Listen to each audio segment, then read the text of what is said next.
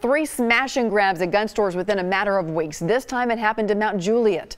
Investigators released this clue tonight, a white four-door Kia Optima officers believe belongs to a person of interest in this case.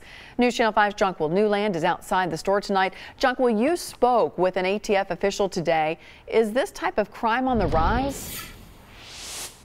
Carrie, yes, not only here in Middle Tennessee, but across the nation. And more likely than not, the firearms that were stolen at this store, as well as other stores in Clarksville and La Vergne, will most likely be used to commit more crimes.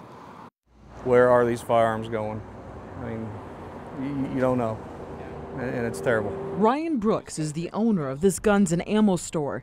His day started with a call from his security company. The front door was busted open on the glass and there was definitely some firearms, their handguns that were stolen. 16 handguns were taken, and this burglary is one of three gun store thefts that have occurred since late May, when 39 firearms were taken from a store in La Vergne. Earlier this week, 45 firearms were taken from a store in Clarksville. It just seems like here in the last couple of weeks, it's happened. It is happening more often. They just got to figure out why. People steal firearms for really only one purpose, and that's to commit additional crimes. ATF Special Agent Michael Knight is in Birmingham, Alabama, investigating three more gun store thefts. It's everywhere.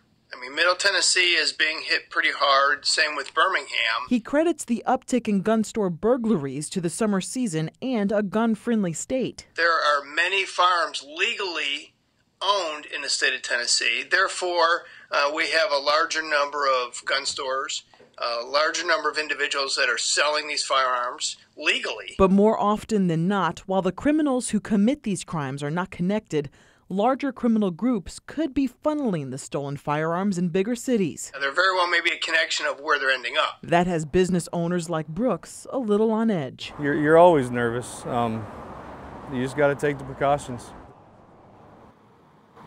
Now, the ATF is partnering, partnering with local law enforcement agencies as well as the National Shooting Sports Foundation to offer a $5,000 reward for any information that leads to the arrest and conviction of the people responsible here in Middle Tennessee.